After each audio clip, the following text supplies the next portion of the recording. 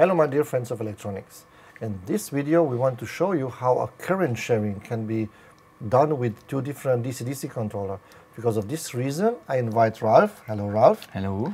Because Ralph did made a demo board and uh, we have here two different DC-DC, so the same DC-DC converter which is making a current sharing to double the output current. Correct. But how is it possible to have a good timing for that? Because normally I would say you need an excellent timing for, for this sharing. Mm -hmm. So on, on this reference design, we see two MagI³C power modules. Each has 2.5 ampere. Together, uh, the outputs are connected. They generate 5 ampere.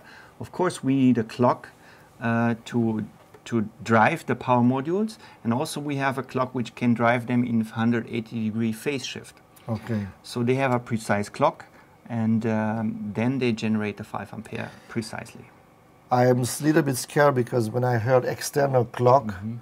in terms of EMC or EMI, it's always a little problem. So are you sure that is a good intention? It seems to be a problem, and we found a good solution with a very simple uh, clock generator which doesn't affect the EMI. Okay. So we proved it by testing. Okay. How is that made? So if we look at the, the board here, we placed in the middle a few components which generate the clock. Mm -hmm. uh, we start with a linear regulator which uh, is supplied by the input voltage of up to 50 or even 60 volts, generates 5 volt for a timer, and the timer generates the clock, uh, and um, the output is then um, transferred by a Schmitt trigger in 180 degree phase shift. So we have two signals which we can supply to each uh, power module. I'm curious how is affecting that is synchronous or non-synchronous the ripple current. Then let's have a look on the board. So let me see how it looks when I put that output.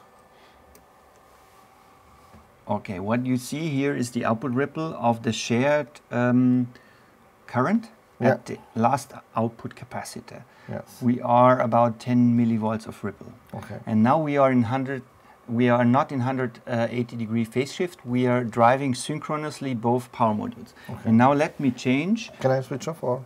The, no, you don't need to. Let me change the clock to phase shifted 180 degree. And you wow. see the ripple of each channel is eliminating the each other and we, we have basically no ripple at the output anymore, just the noise.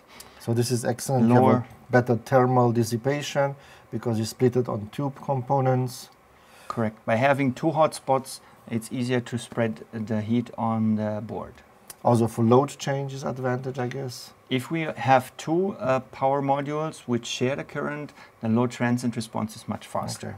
And for EMI, we have also improvement because we did, we did take care that we are decoupled them with our input filter, which is in terms from conductor emission excellent solution. Yeah, so the filters are here on yep. each input side of the board and uh, distribute the filtering in an optimum way. Great. Mm -hmm. Nice job. Thank you so much, Ralph. So You're I welcome. hope you enjoy it and please watch my next videos.